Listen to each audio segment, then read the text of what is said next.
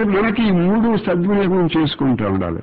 ఇది మాట చేత ఆలోచన. మన మనస్సు ఉంది కదా అది. ఆ మనస్సును సద్వినియోగం చేసుకోవాలి.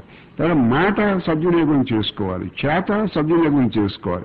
భగవంతుడు మనకి ఇచ్చిన అవకాశాన్ని సద్వినియోగం చేసుకుంటూ వెడితే మనకు బ్రహ్మజ్ఞానం కలుగుతుంది. మనకి లేని అవకాశాలు లేని లేవు. ఉన్నాయి సద్వినియోగం చేసుకుంటే సరిపోతుంది. అంటే వశిష్ఠుడు చెప్తాడు. ఇనువునే నశిస్తుంది కానీ ఆశ నశించదు తృష్ణ తృష్ణ నశించదు నీకు. అయితే నీకు వస్తువులు వస్తువులు పెరిగి కొడితే తృష్ణ పెరుగుతూ ఉంటుంది డబ్బు పెరిగి కొడితే నీకు బుద్ధి పెరగకపోయినా ఆశ పెరుగుతూ ఉంటుంది. అంటే తృష్ణ నశి నీకు ఎంతకాలం అయితే తృష్ణ నశించదో అంతకాలం నువ్వు పునర్జన్మలు వస్తూ ఉంటాయి. శవాలను మోస్తూ ఉండవలసింది.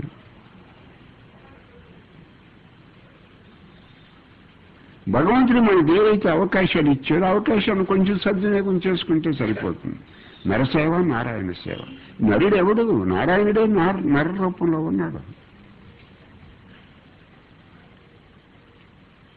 కొంతమంది నరసేవ నారాయణ సేవ రెండూ చేసుకుని వెళ్ళిపోతూ ఉంటారు సైమల్టేనియస్గా.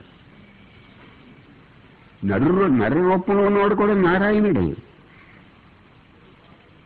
ఈ జీవరూపంలో ఉన్నవాడు కూడా నారాయణుడే. ఆయన వాసనారహిత్యం చేస్తే వాడే నారాయణుడు.